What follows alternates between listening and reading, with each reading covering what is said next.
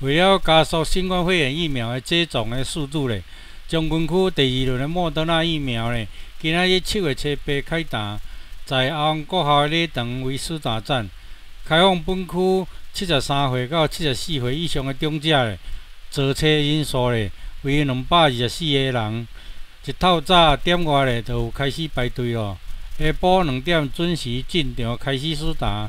在场有区长、公所人员甲将军派出所的员警来维持秩序，或者长者以防疫社交距离的规定坐到定位，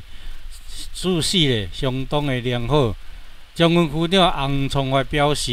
哎，大家好，今天我们将军区呢，在我们欧安国小。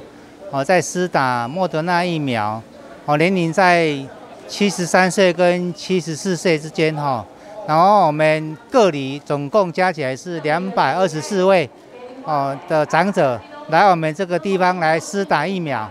哦，希望他们能够回去呢，能够多喝开水哦，保持身体健康。哦，我们公所跟卫生所会竭尽全力来服务大家。以上报告，谢谢。经过施打的过程呢，相当的平和，长者都遵守防疫的社交距离。无论医生询问状况，还是护理师注射的过程，大家都真配合，出色率的达九成。以上是大北门新闻网报道。